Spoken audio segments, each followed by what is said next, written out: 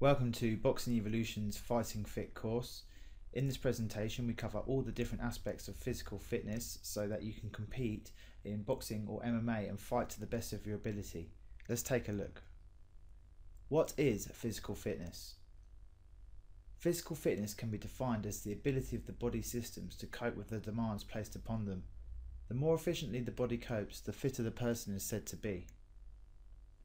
This basically means that the body's use of energy becomes more efficient. What are energy systems? Energy systems are the body's different systems for producing the energy it requires. What is energy? Energy is defined as the ability to do work. Energy comes in many different forms heat, light, sound, mechanical, electrical, chemical, and nuclear energy are all examples. Energy will be in either one of two categories, potential or kinetic. Potential energy. This is energy that is stored. This energy only becomes active once it has been released. An example of potential energy is a coiled up spring held down, down by a weight. Kinetic energy. This is energy that is in motion. This energy has already been released. An example of kinetic energy is when a snooker ball hits another snooker ball, causing it to move. The law of conservation of energy. Scientists state that the conservation of energy is not saving energy. The law states that energy can neither be created nor destroyed. When we use energy, it doesn't disappear, we simply change it from one form to another. An example is that a car uses petroleum, which is chemical energy, to drive by turning it into kinetic energy through combustion. Energy efficiency. Energy efficiency is the amount of usable energy you get from a system. A perfect energy efficient machine would convert all the energy put into it into useful work, not a probable dream. Conversion of energy always involves loss of usable energy. An example is that a car not only creates motion but sound and heat too. Energy in boxing. Energy is what our bodies use to function.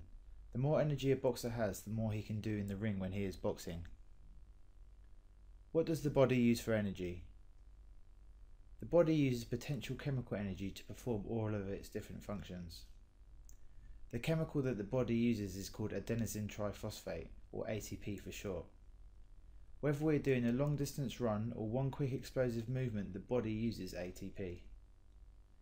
When requiring energy, one phosphate molecule is split from the ATP, releasing energy forming adenosine diphosphate or ADB, ADP for short. However, the body stores only a small quantity of this energy currency within the cells and it's enough to power just a few seconds of all out exercise. So the body must replace or resynthesize ATP on an ongoing basis. This turns ADP into ATP. This process is known as phosphorylation. To replenish the stores of ATP, chemical processes are used. These are known as the energy systems.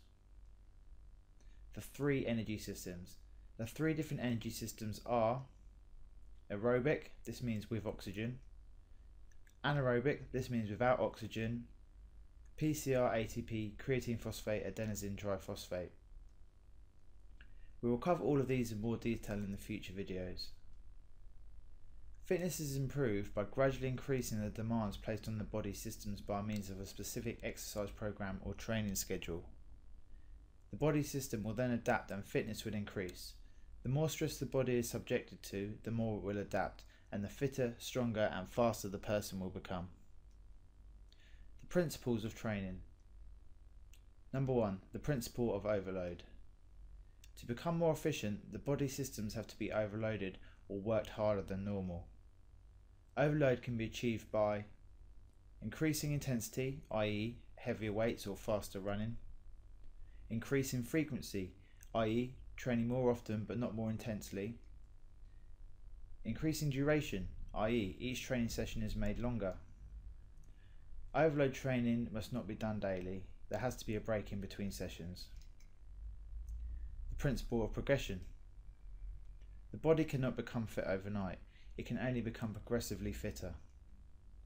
Training must also be progressive, i.e., the first few sessions should be fairly easy and then progressively become harder the principle of specificity.